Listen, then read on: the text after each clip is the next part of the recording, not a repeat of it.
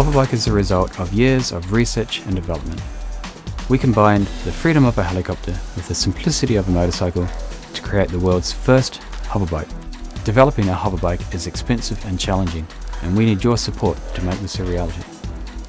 The hoverbike flies like a helicopter, however it is rugged and easy to use.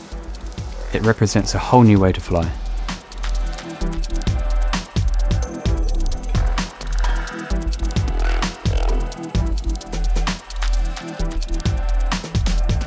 We created a one-third scale hoverbike drone to test a new quad aerodynamic concept.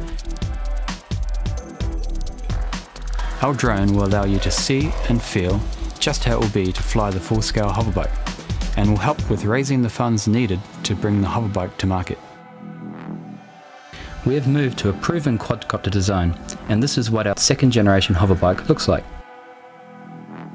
Drones should be friendly and approachable. Our drone has ducts around the propellers that protect bystanders from the blade tips and allows us to safely operate near the vehicle.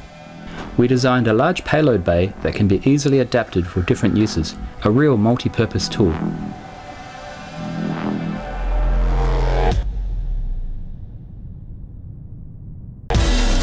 We felt it important to keep drones fun, safe and accessible to as many people as possible.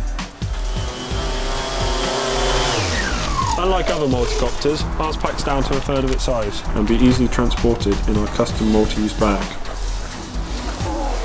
We don't think the world has seen yet just how useful drones of all shapes and sizes can actually be. The ducts come embedded with LED lights for brilliant nighttime flying. We and our large community of supporters around the world are really passionate about the idea of cheap, safe, airborne transportation. With your help to back this project, we can continue to develop the world's first flying motorbike.